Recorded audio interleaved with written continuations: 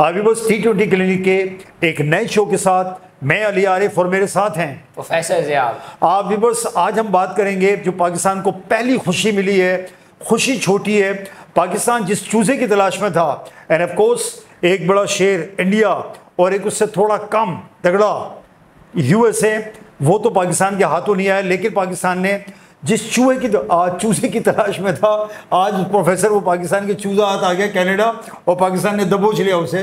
क्या कहेंगे? First of all मैं पाकिस्तानी टीम को मुबारकबाद देना चाहता हूँ। चाहे वो छोटी टीम से जीते हैं लेकिन एक आज अच्छी बात है कि वो कि कहीं ना कहीं उन्होंने एक जीत तो हासिल करी। लेकिन भाई ये अगर देखें मुबारकबाद तो आप दे रहे हैं।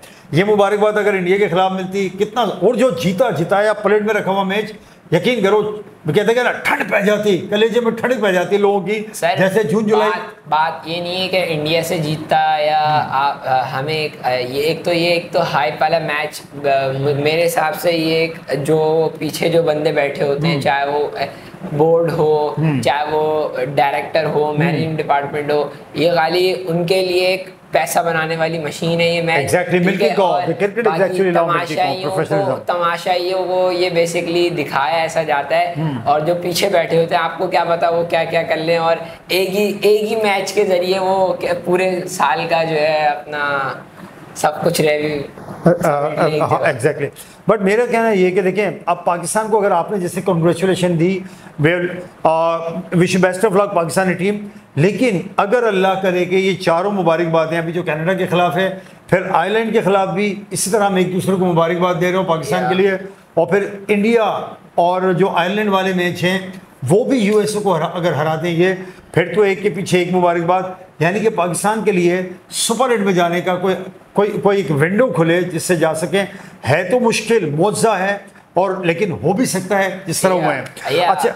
मे बी पॉसिबल कि पाकिस्तान सुपर एट में क्वालिफाई कर जाए we all hope for the best hope sustains life उम्मीद की दुनिया कायम है। उम्मीद है हो सकता है पहुँच जाए। अच्छा मैं प्रोफेसर ये बताएँ कि आज जो पाकिस्तान ने मैच जीत लिया तो टॉस जीता पाकिस्तान ने और बैटिंग करने की दावत दी कनाडा को। और एक ही बैट्समैन उनके जो एरन जॉनसन थे जिन्होंने बड़ी स्टनी इनिंग खेली। छः चार चौके चार छक्के लगाए और तमाम बॉलर्स के खिलाफ वो ज़रा एक एग्रेसिव बैट्समैन के तौर पर उनकी परफॉर्मेंस सामने आई।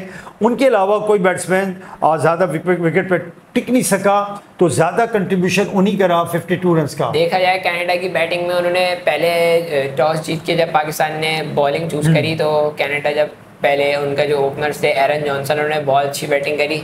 ठीक है सारे हमारे सारे बॉलर्स को उन्होंने बहुत एग्रेसिव तरीके से खेला एग्रेसिव स्ट्राइक किया उनके अगेंस्ट और उन्होंने बहुत अच्छा एक अच्छी इनिंग सेटअप करी कनाडा hmm. के लिए लेकिन अनफॉर्चुनेटली उनकी साइड बाय साइड बिट्टे गिरती रही और आउट्स होते रहे exactly. एक बहुत ज़बरदस्त रन आउट हमने देख आज देखा हमने इमाद hmm. वसीम की जानब से और कैच भी आज ड्रॉप्स हुए लेकिन जब इनिंग अख्ताम हुई तो एक सौ छः रन पे एक सौ छः रन पे कनाडा ने अपनी इनिंग अख्ताम करी जिसमें हमारे पाकिस्तानी बॉलर का कंट्रीब्यूशन है जैसे शाहिन शाह अफरीदी ने एक विकेट ली ऐसे ही नसीम शाह ने भी एक विकेट ली एरन जॉन्स की जो उन्होंने विकेट बोर्ड मिडिल स्टम करा था। मोहम्मद आमिर और मोहम्मद आमिर और हारिस रोम ने दो दो विकेट के साथ ये डोमिनेंट बॉलर फ़र्स्ट इनिंग में रहे।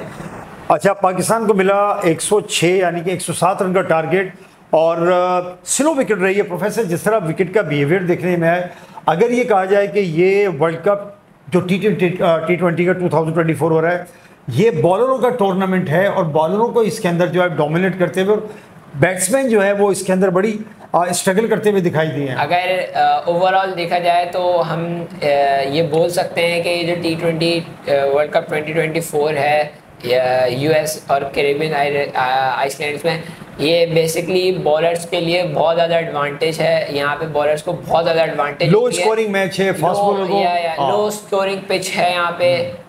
स्टेडियम भी खास इतने अच्छे नहीं है। पिच भी उनकी कंडीशन लेकिन ये जो अमेरिका में जो विकेट्स हैं ये सपोर्टिव है फास्ट बॉलर को। बैट्समैन के लिए बड़ा दिक्कत और लेकिन जो वेस्ट इंडीज के अंदर है आपने अभी देखा जो न्यूजीलैंड और अफ़गानिस्तान का मैच हुआ। मैच हुआ वहाँ पे स्पिनर्स को बहुत ज़्यादा स्पिनर फास्ट बॉलर दोनों दोनों बहुत ज़्यादा एडवांटेज मिला और हमने देखा कि बहुत बड़े बड़े अपसेट हमें इस वर्ल्ड कप में देखने को मिले।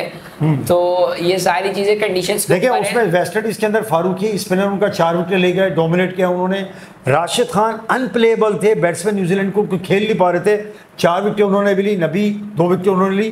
तो वहाँ जो है ये मिला जुला फास्ट बॉलर स्पिनर को। देखा जाए तो ये अनप्रोडिक्टेड एक टाइप ऑफ़ वर्ल्ड कप है क्योंकि कोई भी टीम ने अभी तक यूएस में कोई बड़ा स्कोर नहीं कर पाए। कोई भी टीम ने यूएस में इतना ज़्यादा क्रिकेट खेला नहीं है। सो हम्म। कंडीशंस भी नहीं है हर टीम के लिए और देखा जाए तो पिचेस भी इतनी खास कोई खास नहीं है। कभी आपको फेवरेबल में चले जाती हैं कभी अनप्रडिक्टेड है तो इस पर अभी हम खास बोल नहीं सकते। एनीवे anyway, जो फिर पाकिस्तान ने जो बैटिंग की उसमें पाकिस्तान ने सत्रहवें ओवर की तीसरी गेंद पर एक सौ सात रन का टारगेट पूरा कर लिया। जिसमें मोहम्मद रिजवान तिरपन गेंदों पे तिरपन रन बनाए। बाबर आज़म ने तैंतीस घंटों पे तैंतीस रन बनाए। और यूँ समझे कि सॉफ्ट विक्ट्री थी बड़ी आसानी से। आ, लेकिन पाकिस्तान को ये ज़रा इसमें मौका था कि वो जरा अपना स्ट्राइक रेट आगे रखते। आगे, पाकिस्तान को चाहिए था कि वो तकरीबन 12 से 15 ओवर के दरमियान ये एग्जैक्टली exactly, अपना जो टारगेट अचीव करते हैं। टारगेट अचीव करें और इनको एंड करते हैं। लेकिन अनफॉर्चुनेटली शुरू में तो पाकिस्तान का पाकिस्तान की एक विकेट थी साई मयूब की। लेकिन बाबर आज़म रिजवान ने अच्छी पार्टनरशिप लगाई और exactly. इनको चाहिए था कि ये एंड तक चलाए लेकिन अनफॉर्चुनेटली बाबर आज़म थोड़ा स्ट्रगल करते हुए नज़र आए अच्छी शॉट्स खेले हम्म। लेकिन फिर वो वही अपने एक और सिग्नेचर शॉट की वजह से स्लिप पे कैच दिया और वो आउट हो गए। ऐसे ही हमने देखा जब पाकिस्तान को तीन रन चाहिए थे तो फ़खर जमान ने एक विनिंग शॉट खेलने का ट्राई लिया लेकिन अनफॉर्चुनेटली उसमें भी वो अपनी विकेट गवा बैठे और, और सा, सा, साइम अयूब फिर नाकाम हो गए यानी कि उस बच्चे के साथ है टैलेंटेड और नो लुक शॉट इनका बड़ा पॉपुलर हुआ। लेकिन ये बैटिंग के लिए नहीं कर पा रही और लीन पीरियड चल रहा है इनका। बैट पिच है उनके पास। सर देखा जाए कभी कभार आपकी किस्मत आपके साथ नहीं देती है तो इसमें हम एग्जैक्टली लक सपोर्ट नहीं कर रहा उनको लक सपोर्ट नहीं कर रहा। अभी बस यहाँ पर अपने शो को साइन अप करेंगे। क्योंकि कल फिर हम आपसे मुलाकात करेंगे अगले मैच के अंदर जो है यूएस और इंडिया का। तो उसके बारे में आपको सारी अपडेट्स और सारी लाइव स्कोर्स वगैरह का अपडेट्स आपको मिलता रहेगा हमारे चैनल से। So till that time till that time take care Allah हाफिज़